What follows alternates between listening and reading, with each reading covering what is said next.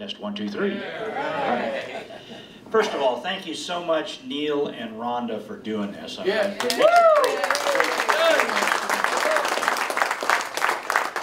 And again, before I start telling my lies, I'd like to recognize, first of all, any veteran. Would you please stand up and be recognized? A veteran of any service, anytime, any place. Thank you. And Vietnam veterans, Vietnam veterans, if you'd remain standing, okay? Welcome home, brothers. Good to have you back.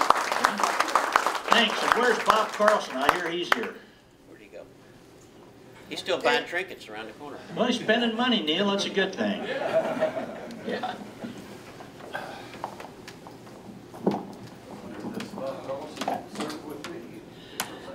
Okay, uh, I've got a collection of slides here that I'm going to show you that really represent not so much my story, but your story as A1 drivers.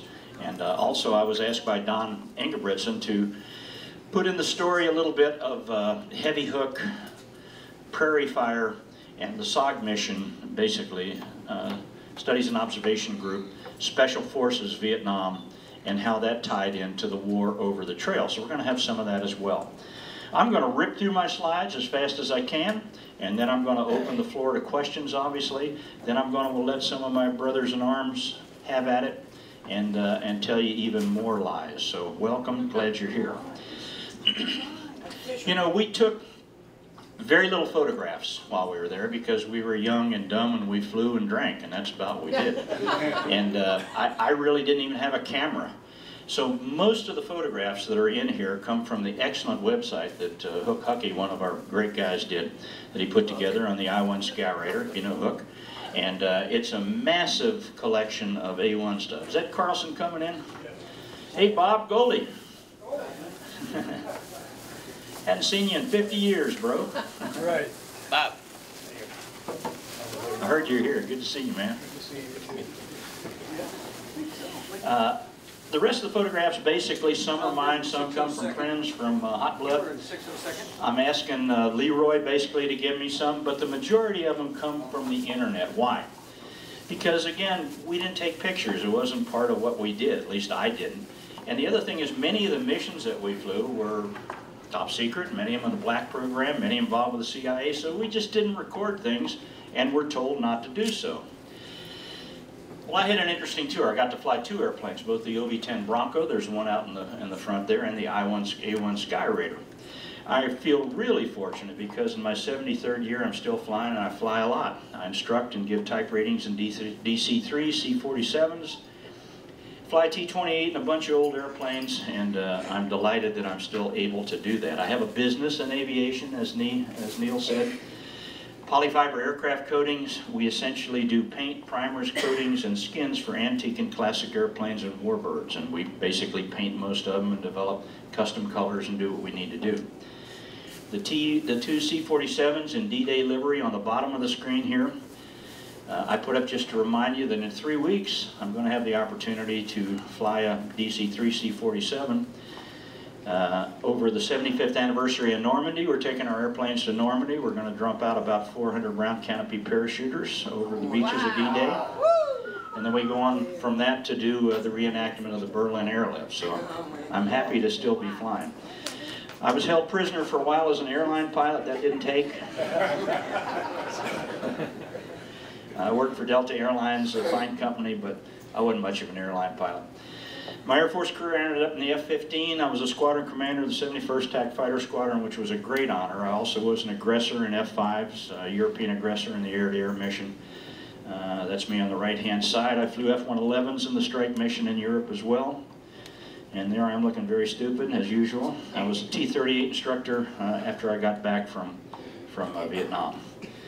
I grew up in general aviation. I worked my way basically into flying by being a line boy. Here I am at age 16. By the time I was 18, I'm the executive with the tie on there. 18 years old, teaching people to fly. If you think that wasn't scary, I mean, not for me, for the student. Motivated by the draft, I wound up uh, in the Air Force, went to pilot training in 1969. Got my wings, very proud of that. You know, we all had our choices to make. I graduated in such a place that I got my first choice, which was an A1 Skyraider. Why? I turned down several single-seat jet fighters and other jet fighters to be able to fly the Skyraider because I've always been an avid fan of World War II history and figured this was my last shot at it. So I took the Skyraider and was delighted to get it. Okay, here I am in Skyraider School. Uh, I do have a question for you though. Levy, if you'll stand up, please. Stand up, Levy. Stand up. Turn around and face the crowd. All right, this is a quiz. Levy Rentz is in this photograph. Where in the hell is he? That's right. He's the guy to my left. That's Levy. We were classmates together in the A1. You look, you look exactly the same, too, except for the mustache. That's good. I got that bit. Okay. All right, well, uh, with the usual uh, way that things proceed in the United States Air Force, uh, it was decided soon after my class graduated that uh, lieutenants were too inept to fly the A-1 Sky Raider, and so they threw us all out. Basically, everybody that had gone through Sky Raider school that was a recent graduate of pilot training was summarily executed or thrown out. And uh, I wound up trying to get another airplane. Got an OV-10 Bronco, uh, also at Hurlburt Field, went through school there.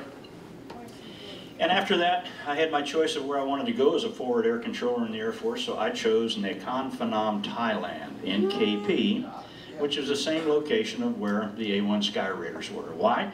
Well, again, I, I knew most of the guys that I'd gone through A1 school with, and I also thought maybe there's a glimmer of hope of being able to fly the Sky Raider again, so off I went. Hmm. 24 years old, 1970, here I am reporting for duty as a Nail FAC. Let's talk about the OV-10 just for a minute if you're not familiar with it. Twin turboprop engines, a very good airplane, carried a lot of stuff, believe it or not, mostly fuel, and was used primarily for the forward air control role for the United States Air Force. 147 were built for the Air Force. There were smaller numbers built for both the Navy and the Marine Corps. Both Navy and Marine Corps used them in combat as active counter-air support airplanes. A picture of one from the Air Force Museum. Uh, this is exactly the way it was configured by the Nail FACs in uh, NKP. 300 gallon centerline tank, four machine guns and those little sponsons off the bottom of the fuselage, and four basic uh, LAU 59 rocket pods underneath that. The rocket pods were for smoke or for HE. It was a very highly technical airplane. Uh, no GPS, no INS, no nav systems, no nothing. So we had a TACAN in it, that was it. Uh, worked very well, however. Round instruments, switches, there was nothing digitized in an airplane of that era whatsoever. All right, so at NKP, the majority of the air war, and many of my cohorts here today who fought it, we fought our air war in the country of Laos. Now, if you're going to film Jurassic Park again, Laos would be a good place, all right? It's nothing but triple canopy jungle high karst mountains as you can see here, waterfalls, high mesas, no roads, no cities, no people, no nothing. I mean, it was basically crude. That's what you can say about Laos. A couple of pictures of what it looks like. It looked like this in 1970. It looks like this today. Nothing has changed in Laos, okay? There was no infrastructure, no paved roads, no railroads, no freeways, only dirt roads and low water crossings, not a bridge in the place to speak of, okay? So why were we in such a place? I mean, everybody thinks, well, you were in Vietnam, you obviously went to North Vietnam, you did a lot of work in South Vietnam. Not so much in my time frame. In my time frame, the entire air war was fought over Laos. Why? Because that was the home of the Ho Chi Minh Trail. Now, when I say Ho Chi Minh Trail, to most people, they think of the Appalachian Trail. Ah, some happy backpackers walking along the road, you know. It's a trail, it's a trail in the jungle. It was a massive infrastructure of dirt roads, and other things to support the trucking of supplies from Hanoi all the way down to South Vietnam for the air war or to support the ground war in South Vietnam. Now at that time politically, uh, Russian and Warsaw Pact ships could sail right into Haiphong Harbor, take off the war materials to support the war against the Americans in the South. They were loaded into trucks. Little problem, the uh, North Vietnamese couldn't drive it across the DMZ and down into South Vietnam. If you take a look at this map, you'll see that North Vietnam and South Vietnam are the green portions of it.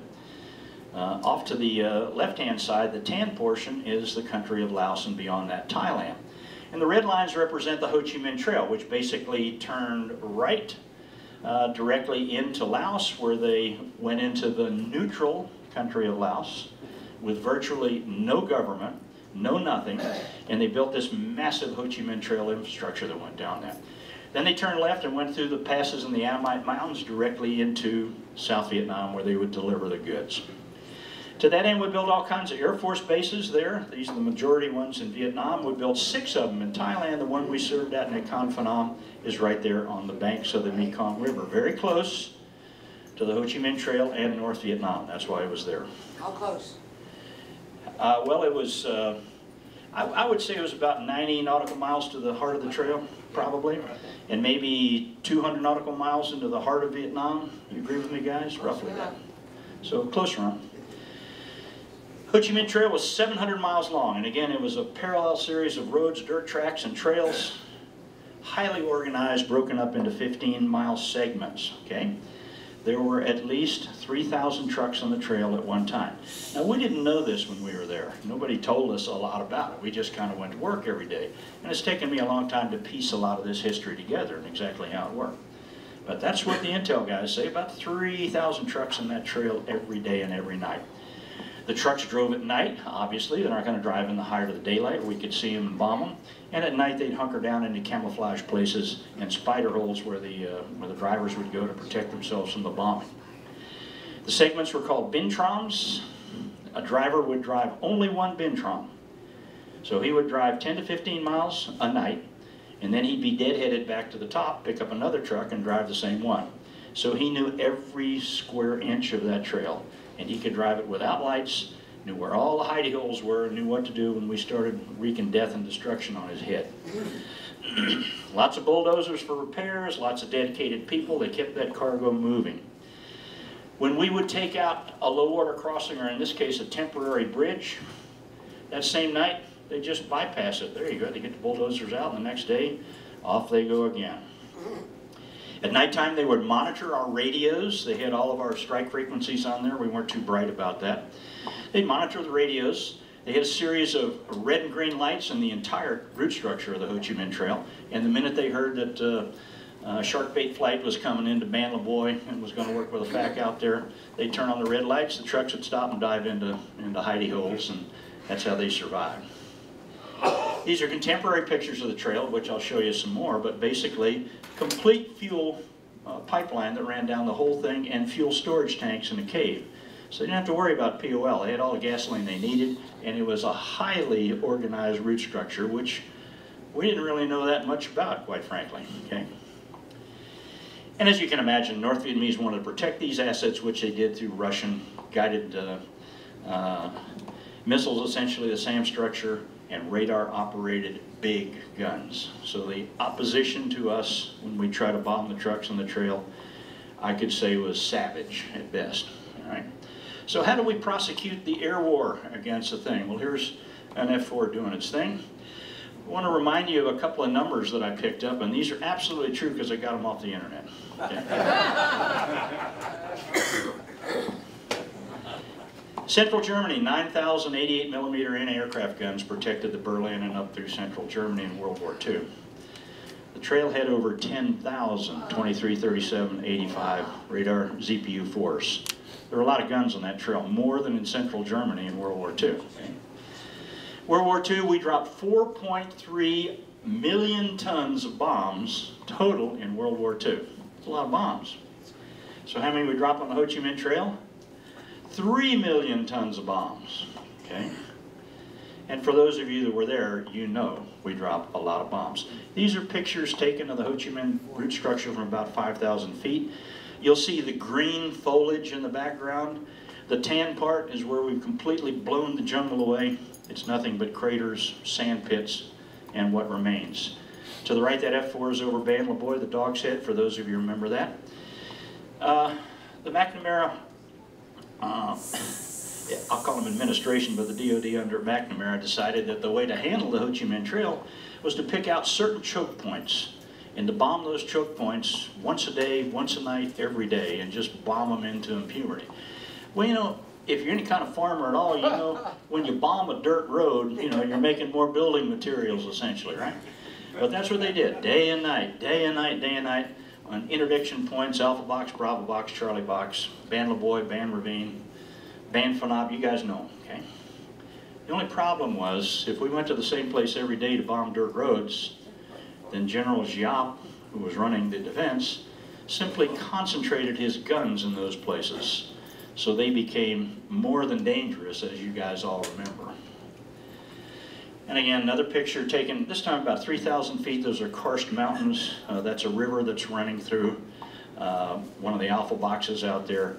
Those are bomb craters. That's not the surface of the moon. That's what the boxes look like from the air. Okay.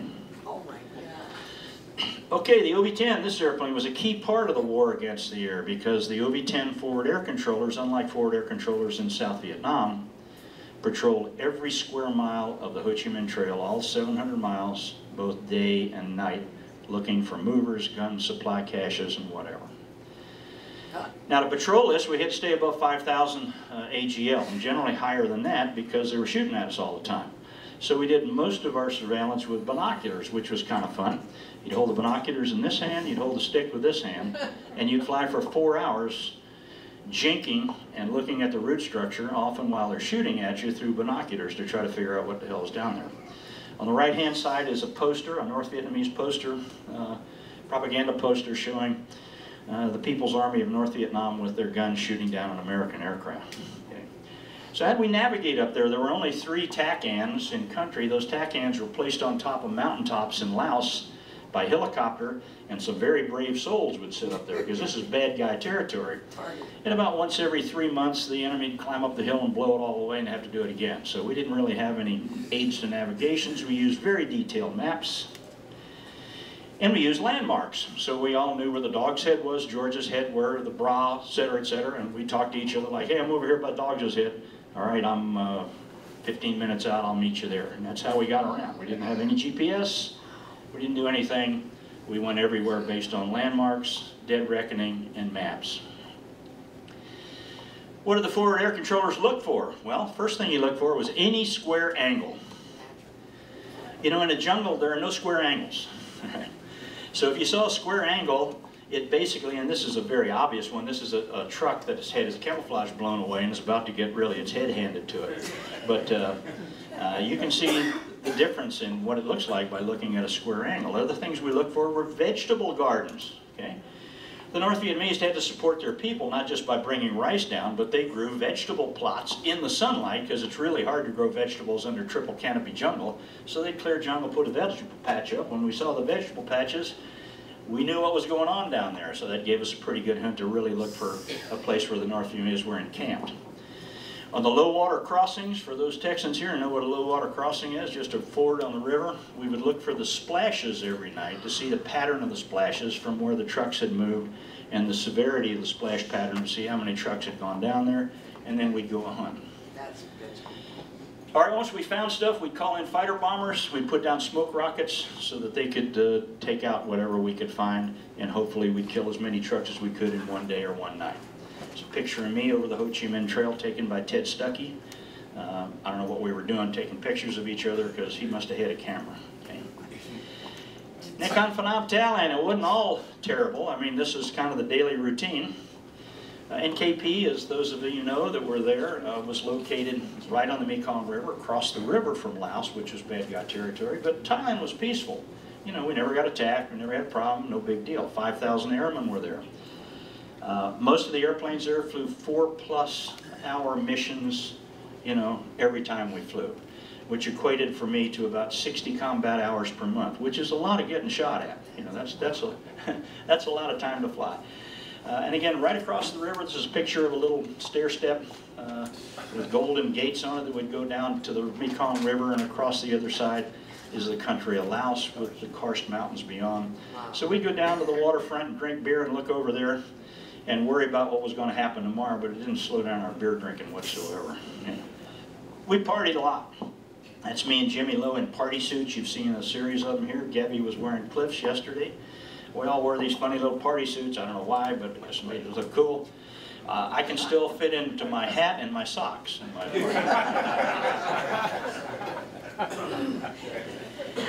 uh, when I was a Nail FAC, I was given a little pig to raise as a joke uh, the Air Force, and here the pig is getting bigger, so I got her a party suit as well. Took that for a while.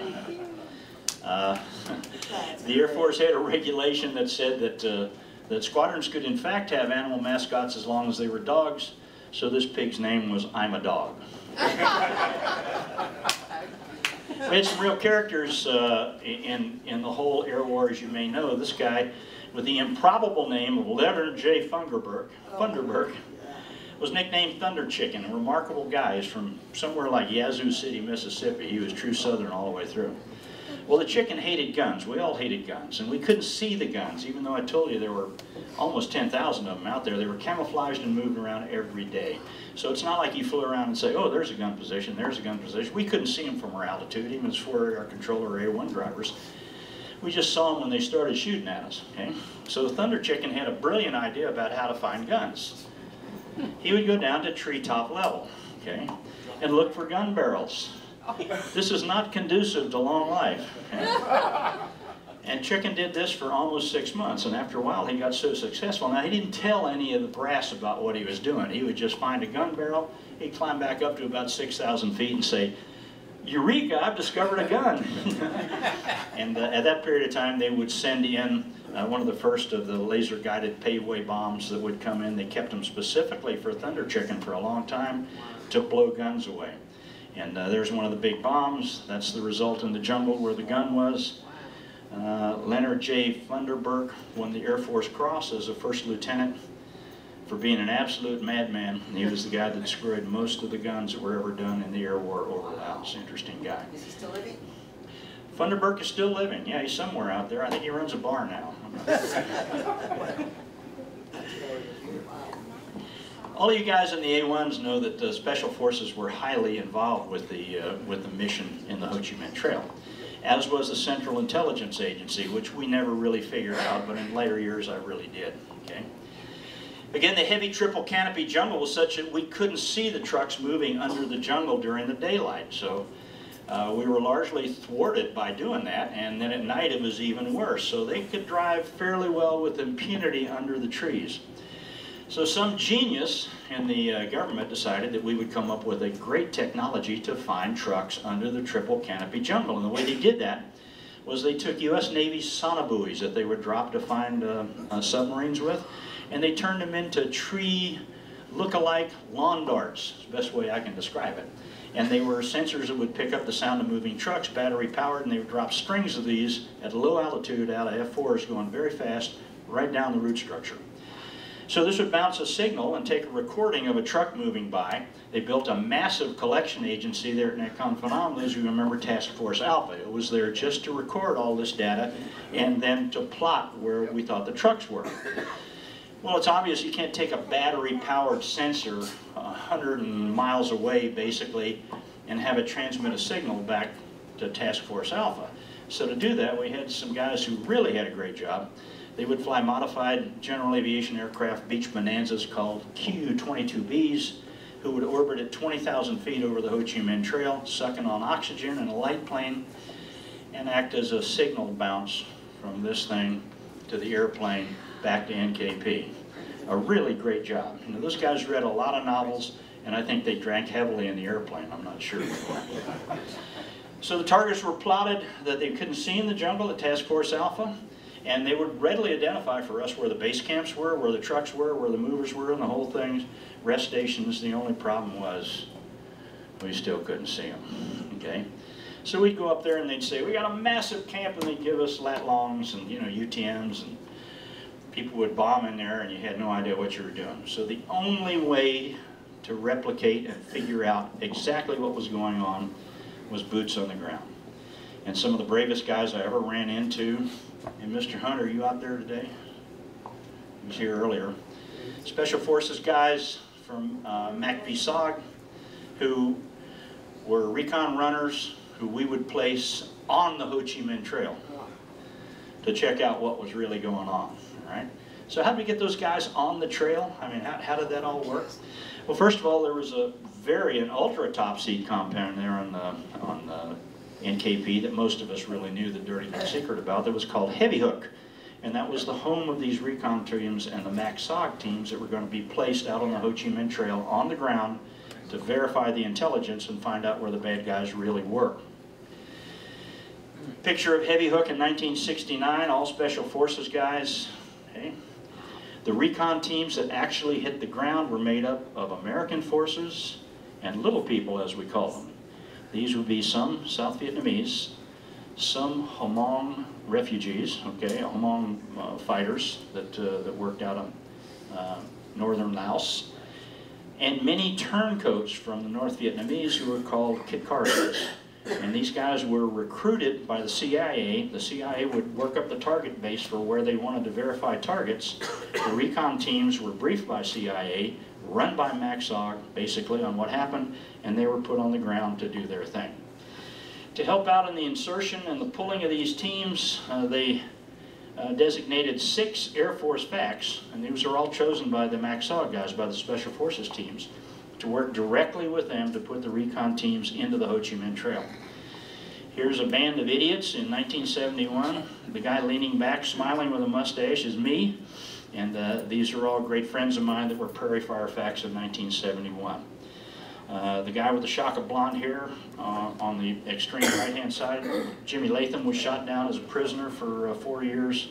And Danny Thomas, who was my replacement, went to A1s. The little cherub-faced fellow over here was killed in action as a Prairie Fire FAC. So it was not, it wasn't, it wasn't a great job to have. It was a good job to have done. Right? And there we are again. That was a Prairie Fire team of that time. Is that the Hoot Gibson there? Uh, well, there's a lot of Hoot Gibsons. That's that's the Special Forces Hoot Gibson guy. Yeah. Uh-huh. Okay. So anyway, once we were chosen as Prairie Fire FACs, we quit hunting uh, trucks on the road, and our mission was to insert these recon teams. So we would work up with uh, Special Forces guys in our back seats, and we're called Covey Riders. We'd go out for about a month, work the target up. The CIA would tell us what the mission was. The missions were either surveillance, or in sometimes, this is my favorite, prisoner snatches. Okay? So these guys would go down on the ground, think about it, run around, go down to a base camp where the North Vietnamese would have North Vietnamese may have four or five thousand guys sleeping in a base camp. They'd sneaky Pete into the camp and steal one of the guys and bring him back, hog time, bring him back and take him back to NKP for interrogation. That sounds like a good idea, doesn't it? Uh, here's one of the Covey Riders getting ready to go out. There's Jim Latham and Gary Robb getting ready. So when we put the team in, and now we're bringing the A1 into the mix, I mean, we put the team in with a CH-53 helicopter, uh, always escorted by two or four A1s because they were the only reliable escort done there. And the Prairie Fire FAC would lead the whole package into the infill, uh, show the CH-53 where to go, then everybody would sit there and see what happened, okay? Uh, the little blip on the middle of the screen there in white is me and an OV-10 leading a mission into an LZ. And again, there's the package going out there. On board a CH-53, that's Recon Team Alaska, getting ready to be put down for prisoner snatch. And they'd hit the ground, off they go. That's a picture of them in the elephant grass from the helicopter looking down on the prop wash. Uh, these are taken by Mike Taylor. These particular pictures, Mike Taylor, who was a heavy hook uh, uh, uh guy out of NKP that we all know very well. Okay. Another infill with the team running away from it. Sometimes you couldn't land, so we'd put them down on a ladder or on a big string. It was not the most brilliant of all ideas.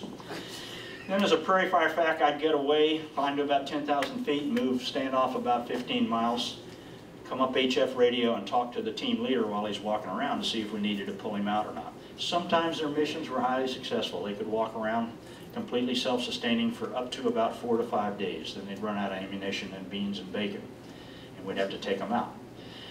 Uh, most of the time, however, all hell would break loose, you know. I mean, you think about it. put down a, a, a small team of Special Forces guys on the Ho Chi Minh Trail, that sounds like a good outcome.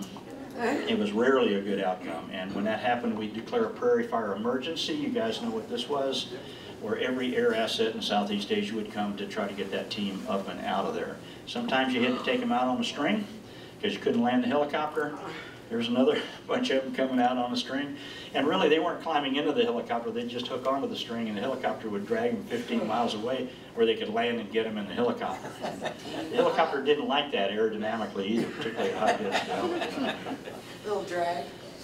Okay, 147 OV-10s in the Air Force. 64 were lost. Almost all of them in Laos. Okay? Didn't lose many of them in country or anywhere else, but almost all of them in Laos. Meanwhile, back in the A1 world, remember I told you at the start that they cut off the pipeline for uh, recent graduates of pilot training going into the A1. So guess what? They ran out of pilots. so while I was finishing up my tour as a Prairie Fire FAC in the OV-10, the word went out that anybody who had recently flown the A-1 was welcome to come back and join the 1st Special Operations Squadron, the last remaining squadron, the Hobos at NKP. And of course, I was right there on station, had been drinking with my bros for a whole year. So me and Johnny Ralston and Snip White went back. Here I am in a squadron picture in uh, 1971 back in the A-1, 1st SOS Hobo. So now I'm embarking on my second tour uh, on A-1s, okay? and there I am in full A-1 flying gear. The A-1 was the last of the prop-driven fighter bombers, as we all know. I mean, 8,000 pounds of ordnance. Think about that. A B-17 going to Berlin with 12 souls on board could carry 5,000 pounds of ordnance.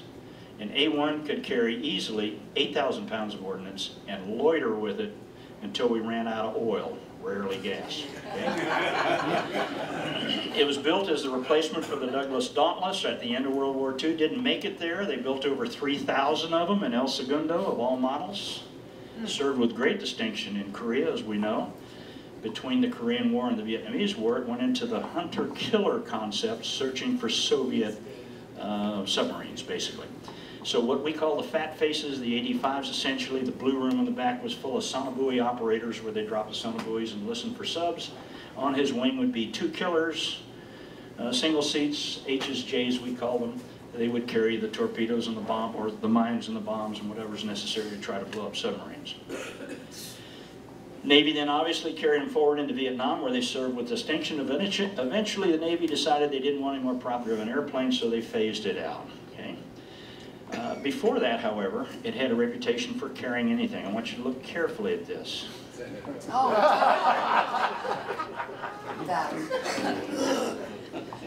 USS Enterprise, for a joke, took a toilet and dropped it on North Vietnam. So.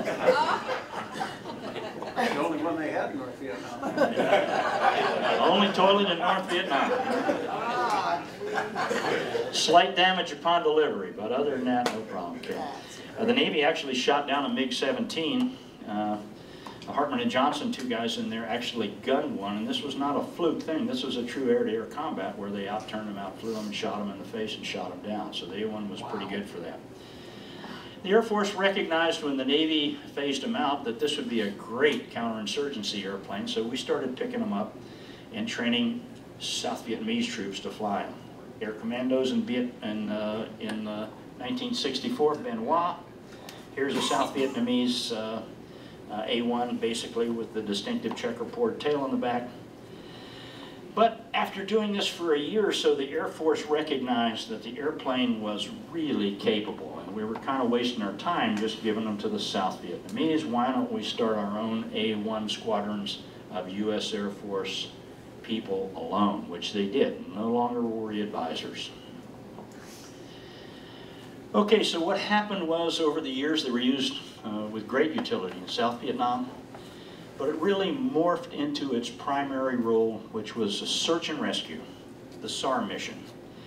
The ability to go out and pick up a shot down U.S. American airman, either U.S. Air Force, Navy, or Marine Corps.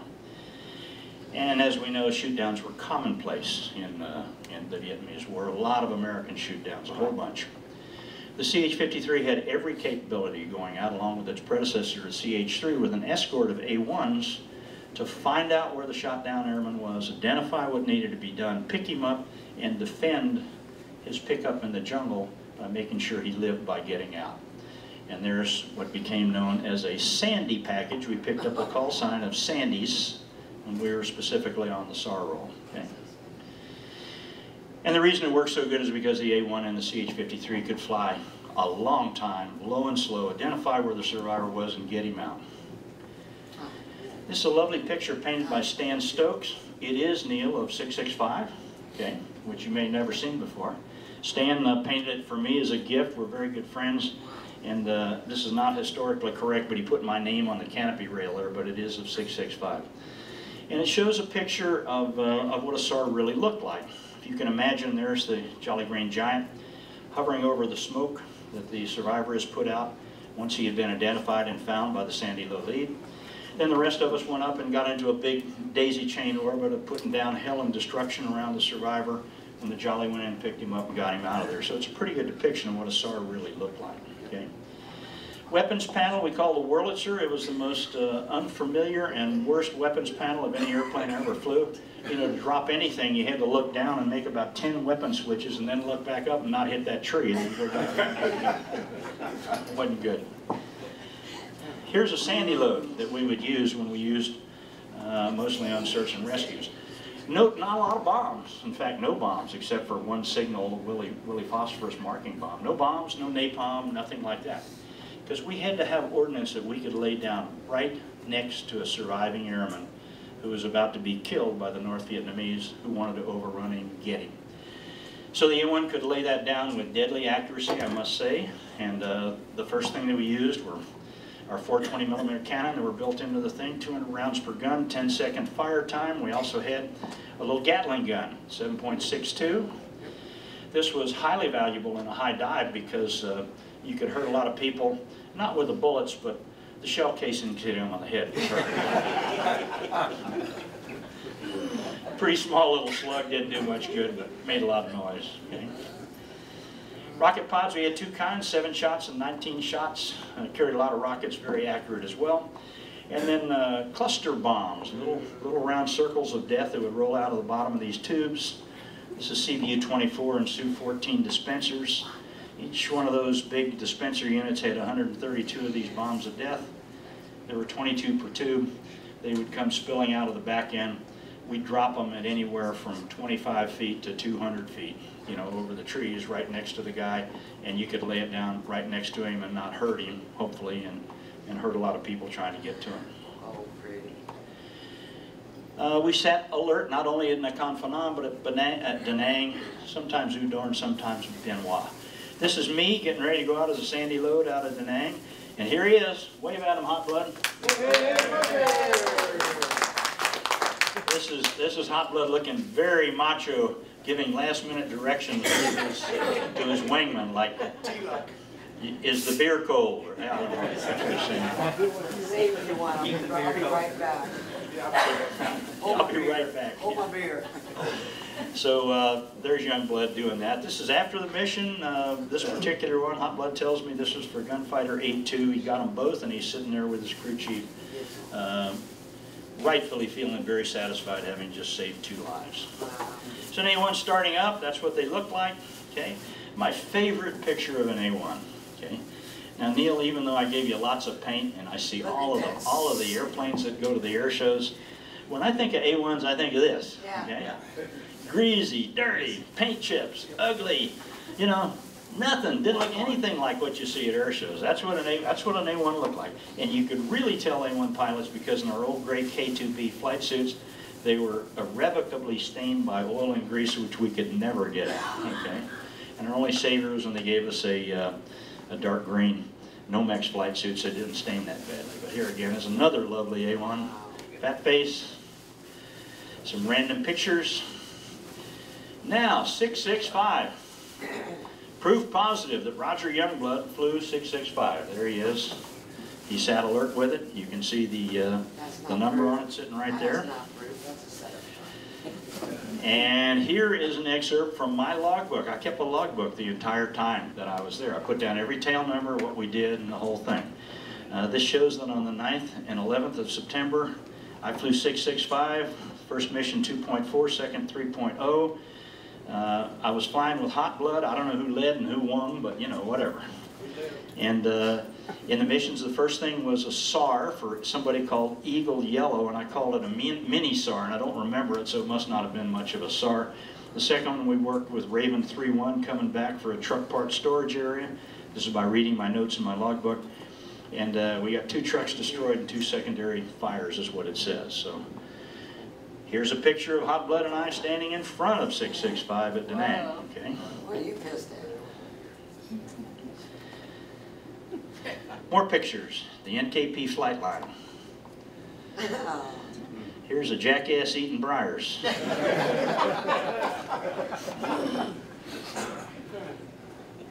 the scarf. Okay, Ken, I saw your scarf today. That was hot. Okay, but here's the deal. When, when I don't remember exactly when, but C.V. Miller, who was our flight commander, and uh, Leroy and Hot Blood, and Bob, I don't think he, C.V. was your.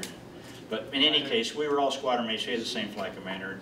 The tradition was that when you became mission ready, when you were all checked out, you're ready to be an A1 pilot, they would give you this long ceremonial scarf. Okay, about eight feet long. Our our flight, as I recall, was yellow, and they gave me this long yellow scarf. Okay, goalie, we're gonna go, we're going over to Da Nang, all four of us. Here's the deal. Uh, make sure that scarf is really tight around your neck, and uh, we're gonna go over there. We get to initial, I'll give you the uh, canopy back signal. We throw the canopies back. I'll give you a head nod. We all throw our scarves out. The F4 guys will be completely envious when they see our scarves flapping. Okay, got it, got it. Okay. so I, I'm number four, and I've got this scarf on really good. And we come up, and man, we're in echelon, and I'm somebody, and roll the canopy back.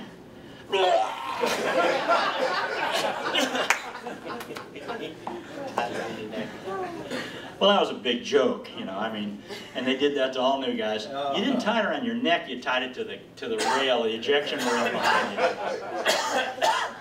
But they wanted, they wanted to make a point, so I got it, it worked. And Ken, I hope you're not tying it around your neck, huh? Okay, you're strapped, that's good. That'll work. Can't say enough about the ground crews and, uh, and the enlisted folks who work for us. We would sit alert with uh, a gun plumber, usually an engine guy, and an aircraft general guy in places like Da Nang and other things. When it came time to change an engine, which we had to do in those locations, they'd fly an engine to us. They'd give uh, the two pilots uh, really the speed handles and tell them to start undoing things because that was about the, the only skill we had. And we'd work as a team to change an engine out together, pilots and mechanics, till we got it back in the air. Nobody cared about crew rest or anything else. okay. There I am, looking very macho. So one day I go out to the airplane, and I'm the flight lead. I don't remember who I was flying with. And I see this really strange load on the airplane. I said, what the hell is that? I asked the crew chief. He says, you're asking me, sir? You're the pilot. I mean, I don't know what that is. And so I went back in. It's an M1A4 frag cluster. A what? Well, it looked to me like a whole bunch of hand grenades held together with a strap, you know. So I went in and asked the ops officer, what do I do? Is do I lay it down or dive it or what do you do with this? He says, hell, I don't know. But make sure you drop it on bad guys. Okay, well, it, it looked like something the way to lay down like napalm. So here's the results. It was not something you laid down like napalm. This actually was not my airplane, but it, it looked just exactly like that. I almost blew myself out of the sky. You know, we just didn't know any better. Uh, we crashed a lot of airplanes. These are from uh, Hook's website for the most part. Here's Mike Smith, who landed Gear Up, if you remember that. Another guy on the runway at NKP with uh, uh, Pedro getting ready to drop the fire bottle right on him. Really brave guys. That's a fire extinguisher that you carry underneath the helicopter. So an A-1 full of gas, uh, any airplane full of gas or full of ordnance which crashed on the runway, what would they do? They would hover directly over it, they'd fire the fire bottle to give the guy enough time to try to get out without burning up. Okay. Pedro was their call sign.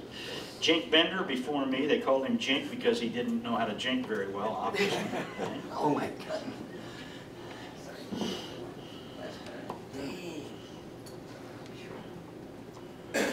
We did have an ejection seat. It was put in as an afterthought called a Yankee seat. Uh, and sometimes it even worked. Uh, it actually was a spin-stabilized rocket that was mounted, again, as an afterthought directly behind the pilot's head. That's what you're looking at here.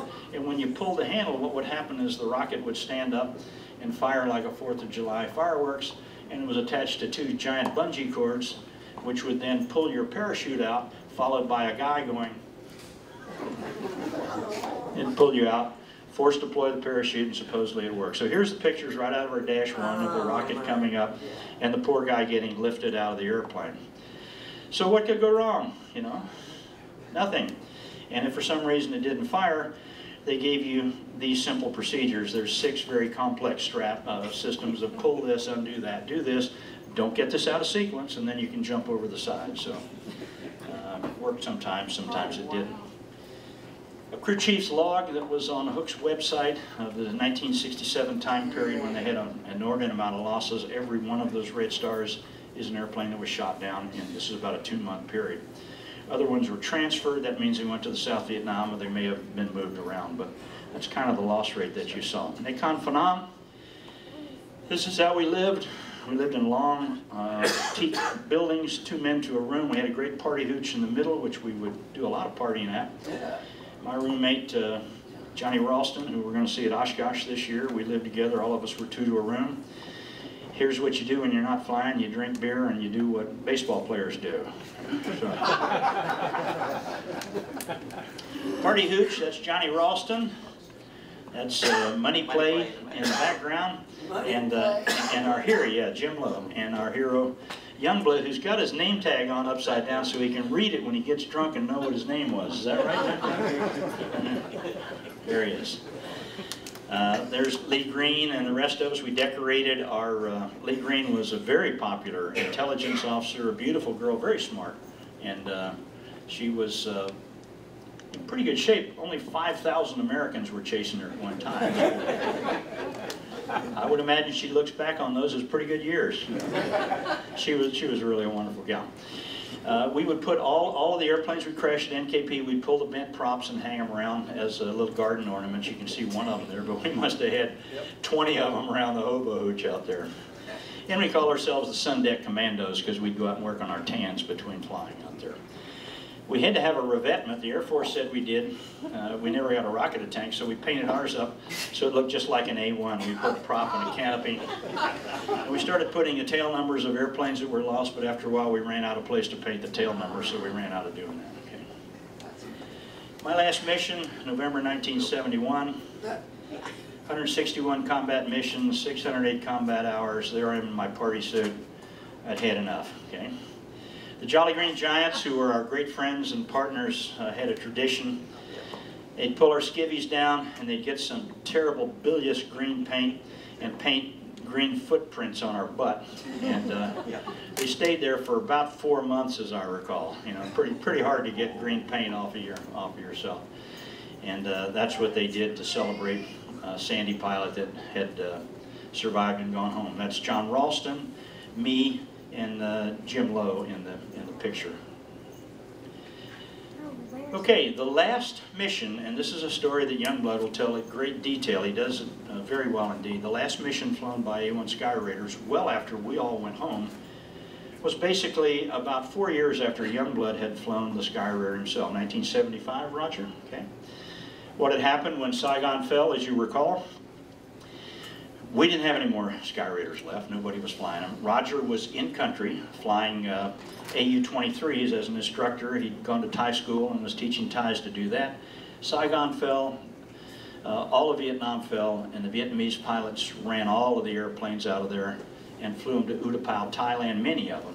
At which time, Roger and another former A-1 pilot who was also there got the call from Heinie Aderholt who said, go pick up those airplanes and take them from Utapao and take them to Takhli. And that's what Roger did, lash flights, and as a matter of fact, they saved four airplanes, two of them are sitting in that hangar right there.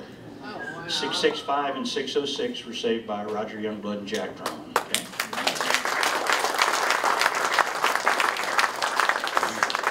And there's a picture of that Youngblood actually took in flight of Drummond out there. A very historic picture. Okay. So the U.S. Air Force had 200 Skyraiders that served in, uh, in Vietnam, total of 200. 159 were lost. Okay. The rest were given away over time to South Vietnam. So we quit flying the Skyraider soon after I left when we ran out of them. I mean, it wasn't a fact that we thought they were old, we just got them all shot down, done. They were out of there. What year did you leave, John?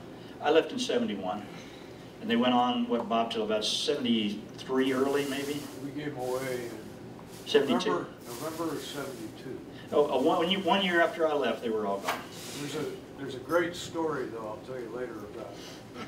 Eight of us ended up going back and taking them from the South Vietnamese various bases on a hand receipt, and flying them up to Da Nang for a linebacker strike after we didn't have any airplanes. Amazing. So anyway, we, a lot of people think that we quit flying Skyraiders because they were old. No, it's because we ran out of them, essentially. So I want you to think about this. One out of every five A1 pilots was shot down on his tour of duty.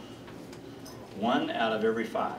Now happily, many of them were picked up and lived to fly another day, but that's what the statistics are. When you look at sorties, how many pilots, how many airplanes, so you had a one in five chance of pulling the handle and bailing out. This again is a list that was, uh, that Hook had put together. U.S. Navy losses, U.S. Air Force losses. There are 106 names on there. There are comrades and friends, people in the audience here. There were 700 U.S. Air Force pilots in general that flew it. We lost 106 pilots killed. That means you had a one in seven chance as an A1 pilot in staying alive on your tour of duty over there? Now I think about that, and I think about it a lot in these years. And at my little airport that I run in Southern California, every Veterans Day, I have a huge Veterans Day event where I think about my fallen comrades and my friends.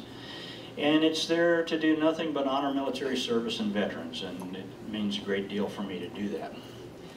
Now I have four wonderful children. One is with me today, Mark, in the back, and what, Owen run away?